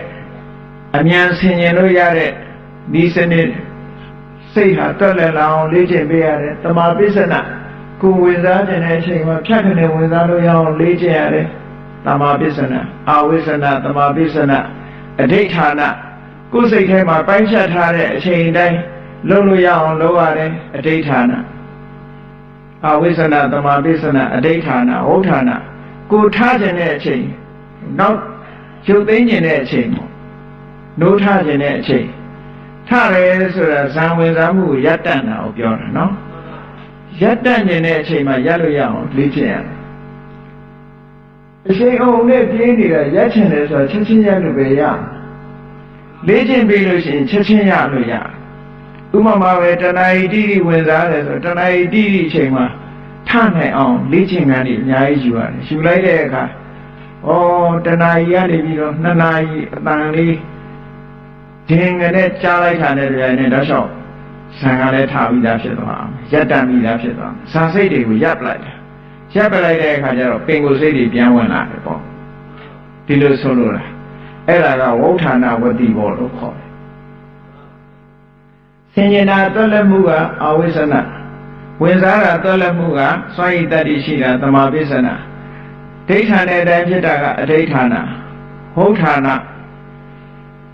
နောက်ပိစ္ဆောခဏဆိုတာကိုဝင်စားတဲ့ဆံကိုပြန်ပြီးတော့ဆင်ញင်တာတွေးတောတာလေစိုက်တတိတွေကအပြည့်အဝရအဲ့ဒီလိုလေ့ကျင့်ယူတာအဲ့ဒီဇံဟာဒါစိတ်ကိုအာယုန်နဲ့လေ့ကျင့်နေဆိုဒီနီးစနစ်တွေကိုပြောတာနော်ဒါတွေလည်းပဲစိတ်ဖြစ်စဉ်ထဲမှာပါတာပဲမလေ့ကျင့်ရင်အဲ့ဒီအဆင့်တန်းမျိုးဘုန်းကြီးတို့တွေမရောက်နိုင်ဘူးလေဒါလေ့ကျင့်ရမယ် ကဲကောင်းပြီအခုလိုပထမဆန်အဆင့်ကလေးရသွားပြီဆိုရင်ရှေ့ကိုဆက်သွားเสียလမ်းကြောင်းရှိသေးလားဆိုရှိသေးတယ်ဆက်သွားခြင်းသေးတယ်ဆိုရင်သွားလို့ရသေးတယ်တမာရီစွမ်းအားတွေကိုတိုးမြင့်ဖို့ရဘာလို့ရမလဲခဏကဆန်ဆိုတာပထမဆန်ဆိုတာဝိတ္တဝိสารပိတိဒုက္ခဧကဂရဆိုဒီ၅ခုနဲ့ဖွဲ့စည်းထားတာပထမဆန်အဲ့ဒီမှာဝိတ္တဆိုတာ စိတ်ကိုအာယုံပေါ်တင်းတင်ပေးနေတဲ့သဘောလေးပမာလို့ဆိုတော့တွေးပေးနေတဲ့သဘောတွေးနေရသေးတယ်အဲ့ဒီတွေးနေရတာကိုကစိတ်ရဲ့လှုပ်ရှားမှုတမာရီရဲ့အနှောက်အယှက်ဖြစ်တယ်လို့ကြားတဲ့အခါကျတော့မြင်လာတယ်ဒါလေးမပါရင်ကောင်းပါပဲဒါလေးကနေပြီးတော့တို့အာယုံပေါ်မှာတင်းတင်ပေးနေရတာအလုံးရှုံးတယ်ပေါ့ဆိုပြီးတော့တမာရီစွမ်းအားတွေတိုးမြင့်လိုက်တဲ့အခါဒုတိယအချိန်ရောက်တဲ့အခါကျတော့အဲ့ဒီဝိတက်လေးပြုတ်ကျန်သွားပြီဝိတက်မပါပဲနဲ့ အာယုန်နဲ့စိတ်နဲ့တွေ့သွားတယ်ဝိတက်ဆိုတဲ့အဆင့်လေးကိုဖယ်ရှားပြလိုက်တာဒါဒုတိယဇန်အဆင့်လို့ခေါ်တယ်ဒုတိယဇန်အဆင့်ရောက်တဲ့အခါကျတော့ဝိတက်ဆိုတဲ့အာယုန်ကိုအာယုန်ကိုစိတ်ကိုအာယုန်ပေါ်တင်ပေးနေတဲ့လှုပ်ရှားမှုလေးကငြိမ်ကြသွားငြိမ်ကြသွားပြီးစိတ်နဲ့အာယုန်နဲ့ကွဲမသွားအောင်တွဲပေးထားတဲ့ဝိสารပဲရှိတော့တယ်ဝိสารရဲ့ပီတိရဲ့ဒုက္ခရဲ့ဧကဂရရဲ့ အဲ့ဒီလေးခုနဲ့ဖွဲ့စည်းလိုက်တဲ့အခါကျတော့လှုပ်ရှားမှုတော်တော်လေးငြိမ်သွားတယ်ပေါ့အဲ့ဒါဟာဒုတိယအဆင့်လို့ခေါ်တယ်သူကြတော့တမာတိစွမ်းအားပြင်းထန်လာသည့်အတွက်ကြောင့်တမာတိကြောင့်ဖြစ်ပေါ်လာတဲ့ချမ်းသာဒုက္ခတမာတိစပိတိဒုက္ခခုနကဝိဝေကာစပိတိဒုက္ခကာမဂုဏ်အာယုန်တွေကလွတ်သွားတဲ့ချမ်းသာဒုက္ခ အခုကကျတော့တမာတိစပိတိဒုက္ခတမာတိစွမ်းအားကြောင့်ရရှိလာတဲ့ချမ်းသာဒုက္ခဒီလိုသုံးတခါအဲ့ဒီနေရာမှာတချို့ညံထက်တဲ့ပုံကိုယ်တွေကြတော့ဝိတက်နဲ့ဝိသရာကိုနှစ်ခုစလုံးတစ်ခါတည်းကြော်ပြက်လိုက်တာမျိုးလည်းရှိတယ်။ညာတော်ပြင်သုတ်တံပါဠိတော်တွေမှာစတုကနီးလို့ခေါ်တဲ့ဇံ၄မျိုးပဲပြတယ်ဇံ၅မျိုးမပြဘူး။ အဲ့ဒီဇံ၄မျိုးပြတဲ့စနစ်ဆိုလို့ရှိရင်ဝိတက်နဲ့ဝိသရာကသဘောချင်းတူတယ်။အာယုံပေါ်မှာတင်ပေးထားတယ်။တင်ပေးထားတဲ့အတိုင်းကြွာမသွားအောင်ထိမ့်ပေးထားတယ်ဆိုတာဒါတွေအလုံးရှုပ်တယ်လို့ဆိုပြီးဒီနှစ်ခုကိုဖယ်ရှားပြလိုက်တယ်ဒုတိယဇာအဆင့်ရောက်သွားဒုတိယဇာအဆင့်ရောက်သွားလို့ရှင်ပီတိဒုက္ခဧကကတာဆိုတဲ့ဒီစိတ်အခြေအနေ၃ရက်နဲ့ပဲခြေနှပ်ပြီးတော့နေတယ်အဲ့ဒါကြတော့ တပိတိကဒုက္ခလို့ခေါ်တယ်ပီတိပါတဲ့ချမ်းသာကိုခံစားရတယ်အဲ့ဒါကိုတတိယဇာအဆင့်လို့ပြောလို့ရပါတယ်ပေါ့နော်ပီတိပါနေသေးတော့တတိယဇန်အဆင့်လို့ဒီလိုပြောလိုက်တယ်တခါပီတိရဲ့သဘောကိုဇာရထားတဲ့ပုဂ္ဂိုလ်ကဆင်ញင်သုံးသပ်လိုက်တဲ့အခါဟောဒီပီတိဆိုတာစိတ်ထဲမှာပျော်ပြီးတော့လိုက်လိုက်လေလေဖြစ်နေတယ် တသိမ့်သိမ့်နဲ့ခန္ဓာကိုယ်ထဲမှာဖြစ်တတ်တယ်စိတ်ထဲမှာဖြစ်တတ်တော့လှုပ်ရှားမှုကလေးတစ်ခုဖြစ်နေတယ်ဒါကလည်းတမာတိစွမ်းအားကိုတစ်ဖက်တစ်လမ်းကနေပြီးအနောက်ရှက်ပေးနေတယ်လို့ထင်ရတယ်ပေါ့ဟုတ်ကဲ့လားဒီခြေနှက်နေတဲ့ပီတိတွေကတမာတိစွမ်းအားကိုအနောက်ရက်ပေးနေတယ်လို့ထင်လို့ပီတိပေါ်မှာမလိုချင်တော့ဘူးနောက်ထပ်ဒီပီတိမလိုချင်တော့ဘူးဆိုပြီးတမာတိစွမ်းအားတိုးမြင့်လိုက်တဲ့အခါကျတော့စတုထအချိန်မှာ ဒုက္ခဧကကတာဆိုတဲ့ဟောဒီအင်္ဂါနေရာထဲနဲ့ဇံကိုဖွဲ့စည်းပြီးယက်တည်သွားတယ်ခဏကပြောခဲ့တဲ့အာယုံလေးပေါ်မှာပဲနော်ပထဝီခဏဩရရကတိုင်းအာယုံလေးပေါ်မှာဟောဒီလိုပြောင်းလဲပြောင်းလဲပြီးတော့လှုပ်သွားတာအဲ့ဒါကြတော့နေပီတိကဒုက္ခလို့ခေါ်တယ်ပီတိမဲ့ချမ်းသာ ချမ်းသာတာကပီတိရှိတဲ့ချမ်းသာကတစ်မျိုးပီတိကင်းမဲ့တဲ့ချမ်းသာကတစ်မျိုးဒါတွေကလူတွေနားလည်ဖို့အမှန်တန်ခက်တယ်ပေါ့ဘာဖြစ်လို့လဲဆိုရင်တာမန်နေစဉ်မှာခံစားဖို့ရခက်တဲ့အရာတွေကိုအဲ့တော့ပီတိမဲ့ချမ်းသာကိုရလာပြီဆိုတဲ့အခါကျတော့နောက်ဆုံးမှအဲ့ဒီပုဂ္ဂိုလ်ကစဉ်းစားတယ်ဟောဒီချမ်းသာနေတာကိုကခန္ဓာကိုယ်ထဲမှာတသိမ့်နေလေးဖြစ်နေတယ်ခ န္ဓာကိုယ်ရဲ့အေးချမ်းမှုလေးစိတ်ထဲရဲ့အေးချမ်းမှုလေးဖြစ်နေတယ်ဆိုတနည်းအားဖြင့်လှုပ်ရှားမှုလေးဖြစ်နေသေးတယ် feeling ကတိတာနေသေးတယ်ပေါ့ဒီတိတာနေတဲ့ feeling ကြီးကိုမလိုချင်ဘူးတဲ့လုံးဝကိုငြိမ်သွားတဲ့ဟာကိုလိုချင်တယ်လို့ဆိုပြီးတော့ဒုက္ခကိုဖယ်ရှားဖို့ကြိုးစားလိုက်တဲ့အခါကျတော့ပစ္စမဇန်အဆင့်ရောက်သွားပြီ ဝေဒနာဆိုတာလုံးဝဖယ်ရှားလို့မရသည့်အတွက်ကြောင့်ဝေဒနာကို reduce လုပ်လိုက်တဲ့အခါကျတော့ဥပိ္ပခာဖြစ်သွားတယ်ပေါ့ဟုတ်ကဲ့လားဥပိ္ပခာဆိုတာအဒုက္ခမဒုက္ခချမ်းသာတာလည်းမဟုတ်ဘူးဆင်းရဲတာလည်းမဟုတ်ဘူးတဲ့ကိုယ့်ကိုဥပိ္ပခာရတာလေးခံစားကြည့်ပေါ့လူတွေတခါတလေကြပျော်တာလည်းမဟုတ်ပြင်းတာလည်းမဟုတ်ရှိတယ်မဟုတ်လားအေး ဝမ်းသာတာလည်းမဟုတ်ဝမ်းနေတာလည်းမဟုတ်ဆိုတဲ့စัจ जा ကလေးခံစားမှုတွေတည်ငြိမ်တဲ့ခံစားမှုတွေအဲ့ဒီမှာဥပိ္ပခာဆိုတော့အဲ့ဒါကြတော့ဥပိ္ပခာပါရိတုတ်တိတဲ့ဥပိ္ပခာနဲ့တည်ငြိမ်တဲ့ချမ်းသာဆိုတော့အဲ့တော့ရှေ့ပိုင်းကသမာဓိရဲ့စွမ်းအားရဲ့အနှောင့်အယှက်ဖြစ်မဲ့ဝိတက်ကိုလည်းဖယ်ရှားလိုက်တယ်ဝိသရာကိုလည်းဖယ်ရှားပြလိုက်တယ်ပီတိကိုလည်းဖယ်ရှားပြလိုက်တယ်ဒုက္ခကိုလည်းဖယ်ရှားပြလိုက်တယ်ဆိုတော့ သမာဓိရဲ့စွမ်းအားတွေကပုံမှုထက်မသွားဘူးလားလုံးဝအနှောင့်အယှက်ခင်းသွားတော့တည်ငြိမ်မှုတစ်ခုတည်းကယက်တည်နေတယ်တဲ့ဥပိ္ပခာဆိုတဲ့ခံစားမှုမထင်ရှားတဲ့ခံစားမှုနဲ့တည်ငြိမ်မှုလေးတွေယက်တည်နေသည့်အတွက်ကြောင့်ပင်စမဇန်အဆင့်ဟာလုံးဝအဆင့်မြင့်သွားတယ်အမြင့်ဆုံးအဆင့်ရောက်ပါပြီတဲ့တမာရီစွမ်းအားမှာဒီတဲ့ပို့ပြီးတော့ reduce လုပ်လို့မရတော့ဘူးတဲ့စိတ်ကဒီလောက်တော့ ထိတယ်ပို့ပြီးတော့လှုပ်လိုက်လို့ကမရဘူးတဲ့ဝေဒနာကိုလုံးဝကင်းအောင်လုပ်လို့မရဘူးနော်အေးဒီနေရာမှာဥပေက္ခနဲ့ဧကဂရနှစ်ခုနဲ့ဖွဲ့စည်းထားတဲ့ပိစဝဇအဆင့်ရောက်လာပြီဆိုရင်တမာရီစွမ်းအားတွေကတအားကောင်းတယ်တအားကောင်းသည့်အတွက်ကြောင့်ဒီနေရာမှာအဘိညာဉ်ဆိုတဲ့တကိုးတွေပေါ်လာတယ်အဘိညာဉ်ဆိုတဲ့တကိုးတွေတကိုးတွေစွမ်းအားတွေဖြစ်ပေါ်လာတယ်တမာရီစွမ်းအားနဲ့စိတ်ညွတ်ရာကိုဖြစ်လာတယ် ဆိုတော့အေးငါထိုင်းနေတဲ့မြေကြီးအောက်မှာဘာတွေရှိလဲကြည့်ချင်လားကြည့်ချင်လာပြီဆိုလို့ရှိရင် तू ကဒိဗ္ဗစက္ခုပြိကံလုံးလိုက်ပြီးတော့မျက်စိတဲ့မျက်စိအမြင်လို့အမြင်တစ်မျိုးရတာအဘိညာဉ်အမြင်တစ်မျိုးရတာပိစပဇာအဆင့်ရောက်ပြီဆိုလို့ရှိရင်နော်တို့ဘုသိဝေးတဲ့နေရာကဟာကိုလှမ်းကြည့်ခြင်းတယ်တောင်ကြီးတောင်ထဲမှာဘာတွေရှိတော့ကြည့်ခြင်းလား ငရဲဆိုတာရှိလားကြည့်ခြင်းလားနတ်ပြည်ဆိုတာရှိလားကြည့်ခြင်းလားတောင်ရင်ကနတ်ပြည်ဆိုတာဘယ်နာမလို့ရှာကြည့်ခြင်းလားဟောပြမာရီဆိုတာရှိသလားကြည့်ခြင်းလားဆို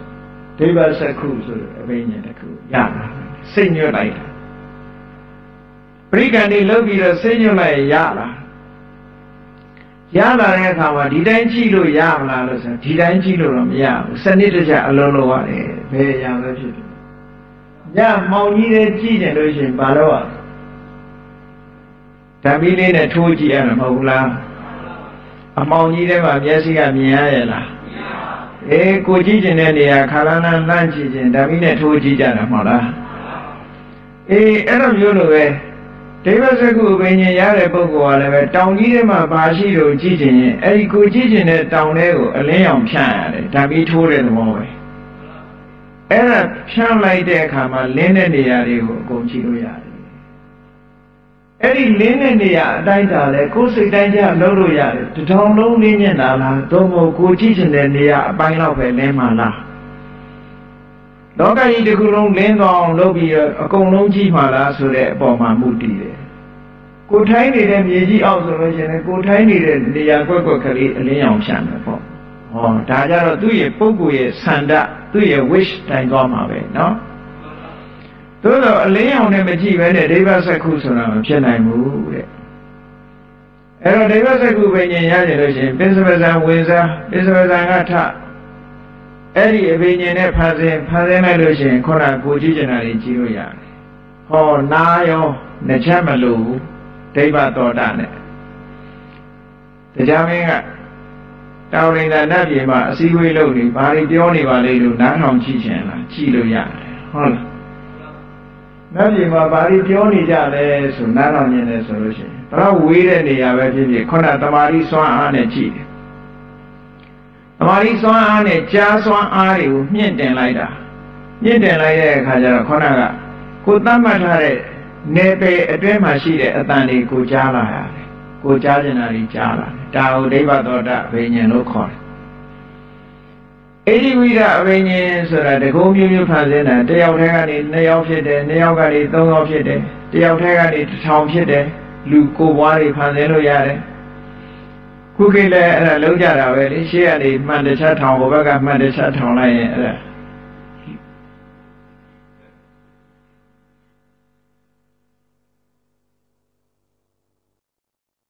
သိမ့်တန်ဖရာဆိုပြီးလှုပ်ထားကြတာရှိတယ်လေ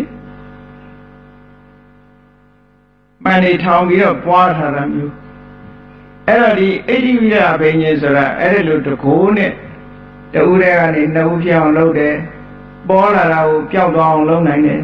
ပျောက်နေတာပေါ်လာအောင်ဘွားရနေပေါ်အောင်လုပ်နိုင်တယ်အမျိုးစုံဆိုပါလို့အဲ့ဒါတွေဟာ စိတ်ဆွမ်းအားကိုပိုင်နိုင်သွားပြီဆိုတဲ့အချိန်မှာဟောဒီဇာပိညင်တွေရပြီဆိုရင်အကုန်လုံးလို့ရဒါလည်းပဲစနစ်တကျလုပ်လို့ရစနစ်မကျရင်ဘယ်ဟာမှမအောင်မြင်ဘူးရင်ဘူးကြပါလိမ့်မယ်ရုပ်ရှင်ကားတွေထဲမှာတရုတ်ပြည်ကမဟာတတိုင်းကြီးကိုဟိုဘက်ဖောက်ပြီးတော့ဝင်သွားတာဒီပါလေနော်တကယ်အပင်ញင်တဲ့ကတော့ဖြစ်တယ်အဲ့ဒါ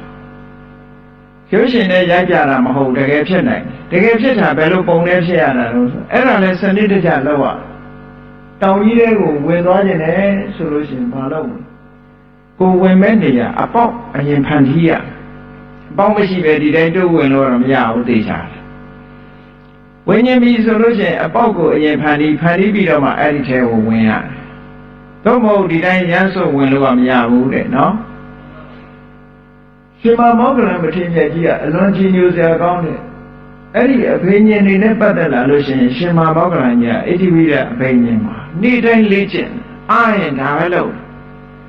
ဒါမို့နန္ဒောပဏ္ဏဒဂါမင်းနဲ့ဒီနန္ဒောပဏ္ဏဒဂါမင်းကိုဆုံးမတဲ့အခါမှာတခြားကိုယ်တော်တွေကိုမြတ်စွာဘုရားဆုံးမဖို့ခွင့်မပေးဘူး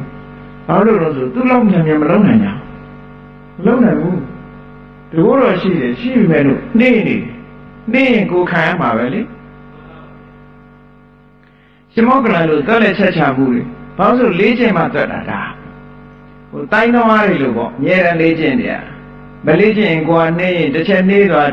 တစ်စက္ကန့်နောက်ကျသွားရင်ကိုခံရရမှာအဲ့ဒါကြောင့်မလို့ရှင်မောကလန်တကားကိုပဲမြတ်စွာဘုရားခွင့်ပြုတယ်ငကားကြီးနဲ့ဘယ်နေရာမှာအခက်ဆုံးလုံးဆိုလို့ရှိရင်ငကားကြီးရဲ့ပါဇက်ထဲဝင်ပြီးတော့ပြန်ထွက်တယ် ပြန်ထွက်တော့သင်ဘယ်သူလဲငါမောကလန်မောကလန်ဆိုရင်ပြသားမှာမောကလန်ကိုဆိုဖန်ဆင်းပြရတဲ့အချိန်ပိုင်းလေးပါငကားကဖုတ်ဝင်တဲ့နာလေးမှုတ်လိုက်တာအဲ့ဒီအချိန်မှာမကလိုက်နိုင်လို့ရှင်သွားပြီအဲရဟန္တာပြီပဲပြဖြစ်သွားမှာပဲအဲ့ဒီအဆင့်လေးဟာအလွန်မြန်ဖို့လိုတယ်လို့ပြောတာနော်ဒါကြောင့်မို့လို့မြတ်စွာဘုရားကျတော့ ဒါတော့ဘုရားကိုတော့ထဲ့မပြောနဲ့တယ်ပေါ့လေတပည့်တွေကရှင်မောကလန်ဟာဒီနေရာမှာအလေးကျင့်ထားလို့ရဆုံးပဲမြတ်စွာဘုရားကျတော့စွန့်ရည်တတိတွေကအင်မတန်မှပြေဝထက်သန်သည့်အတွက်ကြောင့်ကြည့်သူမချာနာသတင်းနဲ့မပါတချင်းကြီးမယ်ခဏခဏကြားဦးကြလိမ့်မယ်ဗမာတွေနော်သူမချာနာတချင်းအရာထဲမှာသိတော့အမေကထူမချာနာပါဘူးကွာမထူပါဘူးလို့ဆိုတဲ့အဓိပ္ပာယ်နဲ့ပြော မဟုတ်ဘူးထူတယ်သို့တော့အချိန်ပိုင်းဟာမချာနာဘူးဆိုတဲ့အဓိပ္ပာယ်ကိုပြောတာထူတယ်မှာအလုံးကိုထူတယ်မြတ်စွာဘုရားကရေနဲ့မီးနဲ့အစုံဆန့်ကျင်ဘက်ကိုဖန်တီးပြီးတော့ပြတဲ့အလုပ်ဟာအမတန်မှလင်ညာလို့လုပ်လို့ရတာတဲ့ဝင်စားတဲ့အဆင့်လေးတစ်ခုပြီးမှတစ်ခုလုပ်လို့ရတယ်သို့မဟုတ်ကြီးတဲ့လူရဲ့မျက်စိထဲမှာတပြိုင်တည်းလို့ထင်ရလောက်အောင်မြန်ရမယ်ပေါ့ ဒါကြောင့်မို့ပိဿဝကနာဇောစိတ်တွေဟာမြတ်စွာဘုရားရဲ့ပိဿဝကနာဇောစိတ်ဟာ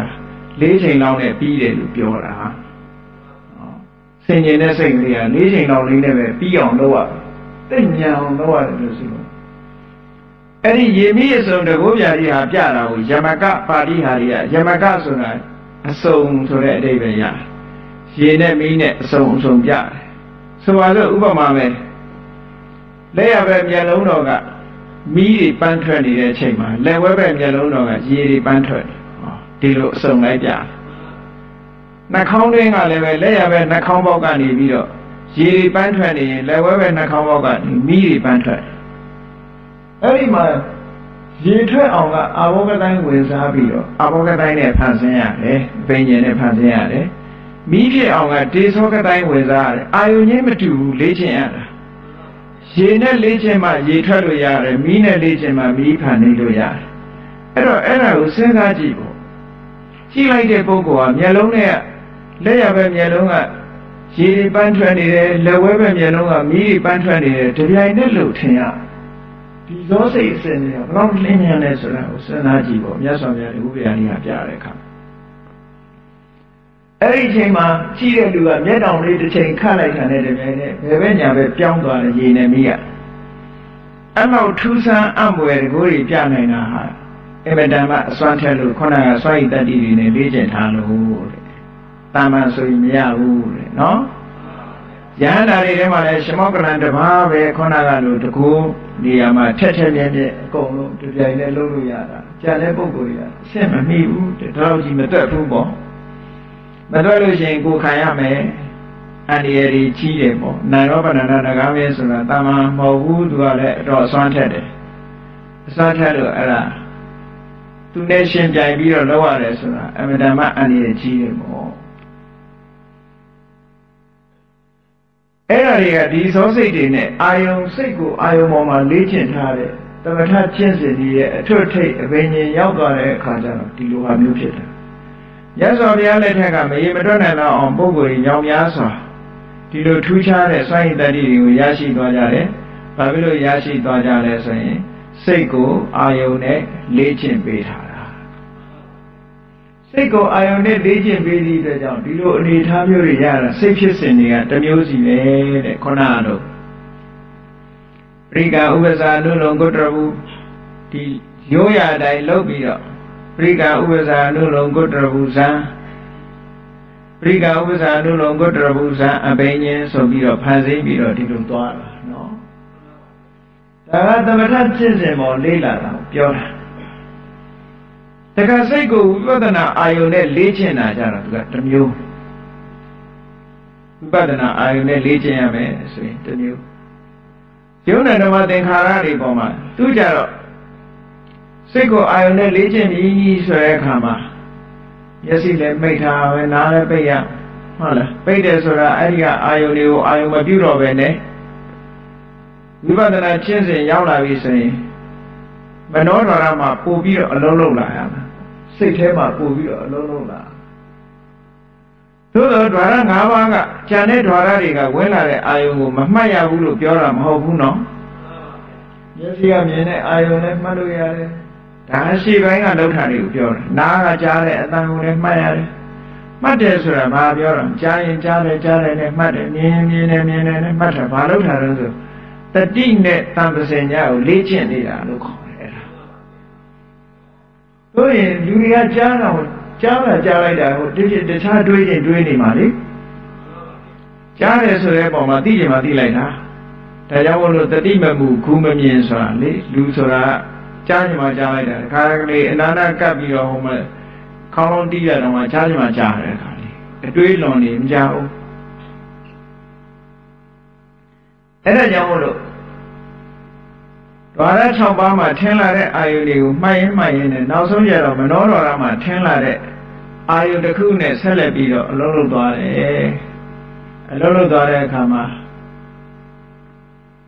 ယုံနာဓမ္မသင်္ခါရတွေရဲ့ သဘာဝလက္ခဏာလို့ဆိုတဲ့ individual characteristic သူ့ရဲ့သဘာဝလက္ခဏာတွေကိုကြည့်ရမယ်နံပါတ်1ယုတ်တရားရဲ့သဘာဝလက္ခဏာနာတရားရဲ့သဘာဝလက္ခဏာပင်ကိုအရှိတိုင်းဆိုပါတော့ဖတ်တာဆိုရင်အာယုန်နဲ့ထိတဲ့တွေ့တဲ့လက္ခဏာရှိတယ်ဝေဒနာဆိုရင်ခံစားတဲ့လက္ခဏာရှိတယ်ဒါသဘာဝလက္ခဏာခေါ်ပထဝီဆိုရင်မာတယ်ပြော့တယ်အာဘောဆိုရင်ဖွဲ့စည်းတယ် ရေဖြော်တယ်ဆိုတဲ့ဒီလက္ခဏာအဲ့ဒီလက္ခဏာတွေကိုကြည့်တာသဘာဝလက္ခဏာသဘာဝလက္ခဏာကြည့်လိုက်ခြင်းအပြင်ပထဝီကိုလည်းတွေ့တယ်အာဘောကိုလည်းတွေ့တယ်ဖတ်တာကိုလည်းတွေ့တယ်နာနေတဲ့ဝေဒနာကိုလည်းတွေ့ပြီဆိုတဲ့အခါမှာအဲ့ဒီသဘာဝလက္ခဏာတွေပေါ်မှာအလုံးလုံးရင်းကနေပြီးတော့ထပ်ဆင့်တွေ့လာတာဘာလို့ဆိုရင်မမြဲတဲ့သဘောဆင်းရဲတဲ့သဘောမမြဲတဲ့သဘောကိုအရင်တွေ့လာမှာပဲ မမြဲတဲ့သဘောတွေ့လာပြီဆိုလို့ရှိရင်မမြဲတဲ့အရာတစ်ခုဒီခြေနှက်ဆရာမကောင်းတော့ကြောင့်ဖြစ်မှုပြမှုကြီးကအမြဲနှိမ့်ဆက်နေတာလို့ထင်ရတော့ကြောင့်ဒုက္ခဆိုတဲ့သဘောတွေ့လာဒုက္ခဆိုတဲ့သဘောတွေ့လိုက်တဲ့တပြိုင်တည်းအနတ္တကိုမပိုင်ဘူးသူဟာသူဖြစ်နေတာကိုကအုပ်ချုပ်လို့မရဘူးလို့ဆိုတဲ့ကိုမပိုင်တဲ့အနတ္တသဘောကိုလည်းတွေ့လာဟောအနိစ္စဒုက္ခအနတ္တလို့ဆိုတဲ့ သဘာဝတရားလက္ခဏာတွေတခုခုမြင်လိုက်တာနဲ့တပြိုင်နက်ဝိပဿနာလမ်းကြောင်းပေါ်စတင်ရောက်သွားပြီလို့ဒီလိုမှတ်ဒါလည်းစိတ်ကိုအာယုန်နဲ့လေ့ကျင့်တာပဲဝိပဿနာကျင့်စဉ်နဲ့စိတ်ကိုအာယုန်နဲ့လေ့ကျင့်လိုက်တာအေးအကျယ်တော့မပြောတော့ဘူးအကျယ်ကတော့အဲ့ဒါရိတ်တာလေးမှာခေါ်နေတာပဲเนาะအဲ့ဒါလို့စိတ်ကိုအာယုန်နဲ့လေ့ကျင့်ပေးလိုက်တဲ့အခါကျတော့ ဉာဏ်စဉ်တွေဟာတစ်ခုပြီးတစ်ခုတစ်ခုပြီးတစ်ခုတစ်ခုပြီးတစ်ခုအသိဉာဏ်တွေထူးခြားမှုတွေထက်မြက်လာတယ်တမာတိစွမ်းအားတွေရင့်လာတယ်ဉာဏ်စွမ်းအားတွေရင့်လာတယ်နောက်ဆုံးကျတော့သင်္ခါရတွေပေါ်မှာဒီစိတ်တည်တည်ငြိမ်ငြိမ်ထားနိုင်တဲ့ချစ်ချင်းမုန်းချင်းဆိုတာကင်းပြီးတော့အစစ်မြင့်သွားတဲ့အသိဉာဏ်တစ်မျိုးဖြစ်တဲ့သင်္ခါရုပ္ပခါဆိုတဲ့ဉာဏ်ကိုရတော့သင်္ခါရတွေပေါ်မှာလစ်လျူရှုနိုင်တဲ့သင်္ခါရတွေပေါ်မှာစိတ်ဟာ စိတ်ပြည့်ခြင်းငြင်းငွေခြင်းမုန်းခြင်းချစ်ခြင်းဆိုတာတွေမရှိတော့ဘဲနဲ့သူ့ရဲ့သဘာဝကိုသိပြီးတော့စိတ်တည်ငြိမ်မှုရလာပြီအဲ့ဒီတည်ငြိမ်မှုရလာပြီးပြီဆိုတဲ့အချိန်မှာဘာတွေလာတော့ဆိုရင်စိတ်အစဉ်လေးကနောက်ဆုံးအဆင့်ရောက်လာပြီဆိုလို့ရှိရင်စိတ်ကိုလေးကျင်းလိုက်လို့ဝိပဿနာကျင့်စဉ်နဲ့စိတ်ကိုလင်းကျလိုက်ရင်နောက်ဆုံးရောက်လာမယ့်ဟာကခုနကပြင်ဆင်နေတဲ့ပရိကံဆိုတဲ့မဟာကုသိုလ်ဉာဏ်တမျိုးစောစောမယ်ပ ထမဆုံးဒဒုတိယဇောကဥပ္ပစာတတိယဇောကအနုလုံးစတုထဇောကြတော့ဂုတရဘူးဆိုတာလေးလာပြီးလိုက်လို့ရှိရင်ဂုတရဘူးလို့ဆိုလိုက်တာနဲ့တပြိုင်နက်သင်္ခါရတွေမမြင်တော့ဘူးချုပ်သွားပြီသူယူလာတဲ့အာယုန်တွေကရှေ့ပိုင်းကသင်္ခါရတွေနဲ့ပဲစခန်းသွားနေတယ်လူရဲ့စိတ်ဟာအကုန်လုံးသင်္ခါရအာယုန်နဲ့ပဲစခန်းသွားနေတာတစ်သက်လုံး အေးဂုတရဘူးရောက်လာတဲ့တပြိုင်နက်သင်္ခါရနဲ့စခန်းမသွားတော့ဘူးသင်္ခါရတွေငြိမ့်သွားတာနဲ့သွားတွေ့တယ်သင်္ခါရဆိုတဲ့အာယုံကိုလွတ်လိုက်ပြီတဲ့လွတ်လိုက်တော့နိဗ္ဗာန်ဆိုတဲ့သင်္ခါရကင်းတဲ့ဒီအာယုံတစ်ခုအသစ်ဆန်းတစ်ခုကိုလှမ်းမြင်လိုက်ရပြီအဲ့ဒီဂုတ္တရဘူးစိတ်ဖြစ်ပြီးတာနဲ့တပြိုင်နက်ဂုတ္တရဘူးကတတ်မှတ်ပေးတဲ့နိဗ္ဗာန်ဆိုတဲ့အာယုံပေါ်မှာပဲ message ကလေးဖြစ်လိုက်တော့ လူရဲ့တဏ္ဍဘဝတန်ရာကပါလာတဲ့အနုတ္တိယဓာတ်နဲ့ကိန်းနေတဲ့ကိလေသာတွေဟာအဆင့်ဆင့်ငြိမ်းသွားတယ်သောတာပတိမဲ့ဆိုရင်ဒိဋ္ဌိနဲ့ဝိသိကိစ္စငြိမ်းသွားတယ်ဟုတ်လားအော်စိတ်ဖြစ်စဉ်ကဒီတိုင်းပဲပရိကံဥပ္ပစာအနုလုံကုတ္တရဘူးသောတာပတိမဲ့ပြီးရင်သောတာပတိဖို့သောတာပတိဖို့ဆိုနှစ်ကြိမ်တော့ဖြစ်ပြီးတဲ့အခါကျဇောခုနှစ်ကြိမ်ပြည့်လို့တစ်ခါပြီးတော့တယ်နောက်တစ်ခါပြန်ဝင်စားရင်မက်ဆိုတာမလာတော့ဘူးဖ ရတဘာဘောဝင်စားရင်ပရိကံဥပ္ပစာအနုလုံဟောဒီဝိပဿနာနဲ့ပဲသွားရမယ်ဒီဖို့ကိုပြန်လို့ခြင်းပြီးဒီအဆင့်ကိုပြန်ရောက်ခြင်းလေဆိုရင်ဝိပဿနာလမ်းကြောင်းကထပ်လျှောက်လျှောက်ပြီးလို့ချင်းပရိကံဥပ္ပဇာအနုလုံကုတ္တရဘူးသောဘဝရံပြီးရင်ဖို့ဖို့ဖို့ဖို့ဟောဖို့စိတ်တွေနဲ့ရွယ်တနေ့လုံးနေတာဖို့စိတ်ဆိုတာနိဗ္ဗာန်ကိုအာရုံပြုနေတာပရိကံဥပ္ပဇာအနုလုံဆိုတဲ့စိတ်တွေကတော့သင်္ခါရအာယုန်နဲ့ အဲ့သင်္ခါရအာယုန်ကိုဥပမာမဲ့လမ်းကြောင်းကြီးတစ်ခုကိုရှောက်လိုက်တာလမ်းဆုံးသွားတာနဲ့တပြိုင်နက်ခြိုက်ကြီးတွေ့တာမျိုးဘာမှမရှိတော့တာတွေ့တာလို့ပဲသင်္ခါရအာယုန်တွေပေါ်မှာရှောက်လန်းသွားရင်းနဲ့သင်္ခါရတွေချုပ်ဆုံးသွားတဲ့နေရာကိုတွေ့သွားတာအဲ့ဒါနိဗ္ဗာန်ခံမှန်းပြောဆိုတာဟုတ်ကဲ့အဲ့တော့သင်္ခါရတွေဒါမို့လို့သင်္ခါရနာအပုတ္တိမတ္တမသင်္ခါရတွေမဖြစ်ဖဲနဲ့ သင်္ခါရတွေချုပ်ငိမ့်သွားတဲ့နေရာဒါနိဗ္ဗာန်ပဲလို့ဒီလိုပြောတာနော်ရှေ့ပိုင်းကစိတ်တွေအလုံးဟာသင်္ခါရအာယုန်နဲ့စခန်းသွားတာသင်္ခါရပေါ်မှာတွေးနေတဲ့အတွေးတွေနဲ့သွားပြီးတော့နောက်ဆုံးအဲ့ဒီသင်္ခါရအာယုန်တွေကတဖြည်းဖြည်းရောရောရောရောရောရောသွားပြီးနောက်ဆုံးသင်္ခါရအာယုန်တွေပျောက်ထွက်သွားတယ်ပြတ်ထွက်သွားတယ်ပြတ်ထွက်သွားပြီးသင်္ခါရမရှိတဲ့အာယုန်တစ်ခုကိုရသွားတယ် အဲ့ဒါဖို့စိတ်တွေနဲ့တဏီကုံနေရင်လည်းတဏီကုံဖို့စိတ်တွေပဲဖြစ်နေမှာပဲထိတ်ထားနိုင်တယ်ဒါဖလားသမဘာဝင်စားတယ်လို့ခေါ်တယ်အဲ့ဒီတိုင်းပဲသောတာပန်ဖြစ်ပြီးရင်တော့တဂရကံဖြစ်ဖို့အတွက်ဝိပဿနာကျင့်စဉ်ကိုတိုးမြင့်ရမယ်တဂရကံဖြစ်ပြီးအနာကံဖြစ်ခြင်းဝိပဿနာကျင့်စဉ်ကိုတိုးမြင့်ခြင်းရမယ် level ချင်းဒီဂရီချင်းမတူဘူးအနာဂံဖြစ်ပြီးယန္တာဖြစ်ဖို့တဲ့ဝိပဿနာအစွမ်းအားကိုတိုးမြင့်ရမယ်တိုးမြင့်တဲ့အခါကျတော့ ယန္တာဖြစ်လောက်တဲ့ဝိပဿနာစွမ်းအားရပြီဆိုလို့ရှိရင်အရတ္တမေအရတ္တဖို့ရောက်ပြီဝိပဿနာနောက်ဆုံးမှယန္တာထီအောင်ဖြစ်သွားတယ်ဒါတွေကစိတ်ကိုလေ့ကျင့်ယူတာလို့ခေါ်တယ်နော်စိတ်ကိုလေ့ကျင့်လိုက်လို့ရှိရင်ဇံလဲရတယ်မဲ့လဲရတယ်ဖို့လဲရတယ်ဒါကြောင့်ဝဆုတောင်းတာနိဗ္ဗာန်မဲ့ဖို့မျက်မှောက်ပြုရပါလို့ဤဆိုတာအဲ့ဒီဟာပဲနော် အဲ့ဒါလိုလေ့ကျင့်ပြီးတော့အာယုံကိုစိတ်နဲ့လေ့ကျင့်သွားနိုင်မှသာလျှင်ဒါရရနိုင်တယ်တာမန်အားဖြင့်ကတော့မလေးကျင့်ဘူးဆိုလို့ရှိရင်ဒီကာမအာယုန်တွေထဲမှာပဲတဝဲလည်လည်ဒီလိုနေအောင်ပါပဲတဲ့ထက်လန်းဆိုတာမရနိုင်သေးဘူးဒါကြောင့်တရားချက်ခင်သူတော်စင်ပြိဿအပေါင်းတို့ဒီမိမိတို့ရဲ့စိတ်ကလေးကိုထူးခြားဖို့ရာအတွက်အာယုန်တစ်ခုခုနဲ့ရှင်တွဲပြီးအပြည့်ကင်းတဲ့အာယုန်ပေါ်မှာလေ့ကျင့်ခြင်းဖြင့် စံတရားမေတ္တရားဖို့တရားနိဗ္ဗာန်တရားများကိုကိုယ်စီကိုယ်ငါမျက်မှောက်ပြုနိုင်ကြပါစေ